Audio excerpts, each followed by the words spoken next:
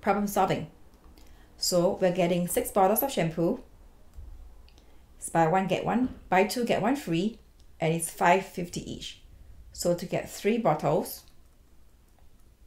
we will be paying five fifty times two, since it is buy two get one free. We're only paying for the price of two, so that will be eleven dollars.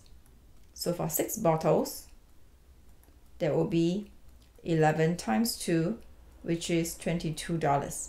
That's for question 1. Now for question 2. For question 2, we want to spend the least amount of money for 3 gallons of milk. So if we're getting 2 half gallon, we will be paying 185 times 2 and that is equals to $2 plus 170 which is 370 so for to get what for one gallon for one gallon we can either get two half gallon bottle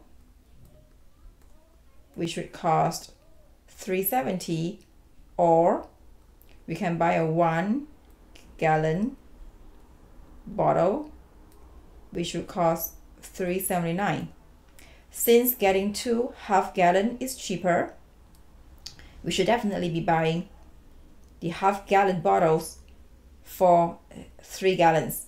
To get three gallons of milk we should be getting six half gallon of milk. One problem solving. This is not an easy question. It can be very tricky for some students. So first we're gonna put the sister down the sister has $75.10 next we're gonna put down how much Harry has. We don't know how much he has but we know that after giving $28 to the mom he has $15.20 less than the sister. So this is how much Harry has. And after giving $28 to the mom he has less. So this is how much Harry has after giving $28 to the mom. So this is $28. So after giving $28 to the mom, he has less than his sister. And how much less? Let's use a different color. He has this much less and this much is $15.20. So our our job here is to find out how much he has at first. So how much do he have at first? Let's use a different color. So what is this amount that was more than the sister? To find out what is this amount, we will use 28 minus 15.20 cents. And we can do the math over here.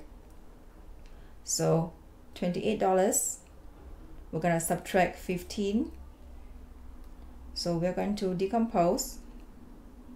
So we have $12.80 so this over here would be $12.80 so how much did Harry have at first? Harry would have 75 point $75.10 cents plus $12.80 at first. And we can do the math here.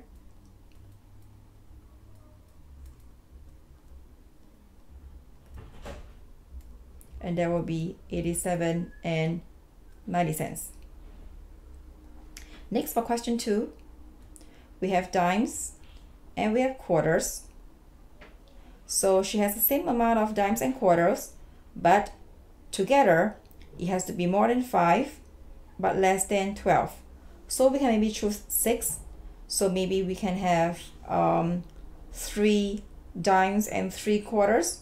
So 3 dimes and 3 quarters. So together she will have 6 coins. So what is how much is 3 dimes and 3 quarters? There will be 30 cents plus 75 cents and that will be a dollar and 5 cents